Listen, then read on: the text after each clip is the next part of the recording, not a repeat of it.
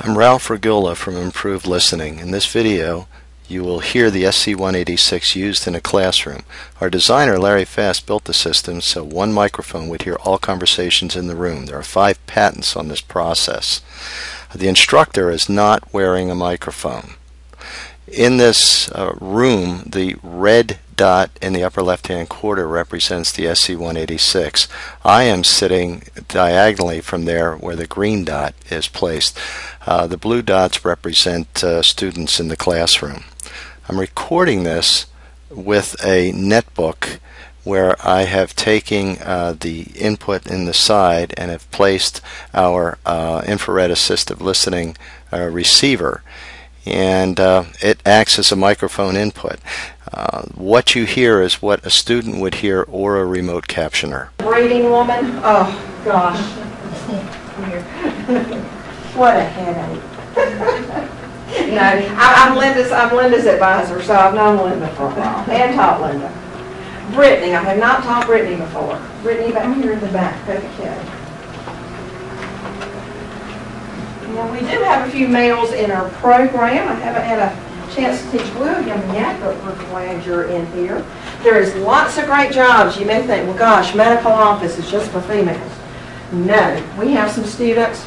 We have one guy that went through the program, and he now works at UNC Chapel Hill, and he has been there since he graduated, and that was back in the 90s. And he works in records, and he loves his job, and he's making a good salary, and we're always happy when our students are successful. Marlise, I have taught that child before. She's already gone through my coding class. Cynthia, who is Cynthia? Okay. Who's your advisor? Ms. Vanessa, okay. Miss Garrett over here. I've had Garrett and Barbara in several classes. We're both dog lovers. Teresa. Okay. Oh, there's two Teresas. Gilmore. Me? Okay, so we have two Teresas. Do you both spell your name T-H-E-R? No. Okay, no, okay. Julia. Are you feeling better, Julia? I'm getting there. You're getting there. You what, fell down some steps? No, I fell off the patio, just flat down to the ground, broke my back. Got This four time. screws. So you were going to the doc, back to the doctor today? I went yesterday, they had cancellation, I went yesterday. Well, very good. So hopefully he'll release me so I can start physical therapy next week. Well, very good, very good. She's having a tough time. Teresa Lee, okay. Jacqueline.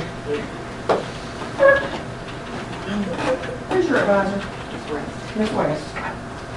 Okay, oh, this is a hard one. Glenn Matthews.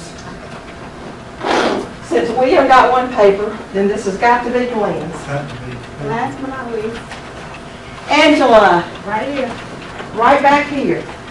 Angela, do we need to tell them how I know you? When did you graduate from high school? I graduated in 1989. Oh, man, yes. Angela, when I met Angela, she came to Sandhills and she said, you don't know me, do you? And I said, well, your face looks familiar. And she says, you taught me back in high school at Lee Senior. I can't remember. Huh, ah, that was a good school. That was my first teaching job, 84 to 89 at Lee Senior, and they were one of the top schools in the state. And then it started coming back, so I can have Angela again. That's great. Ashley Turner. No Ashley in here? She evidently is not here today. Okay, and Tiffany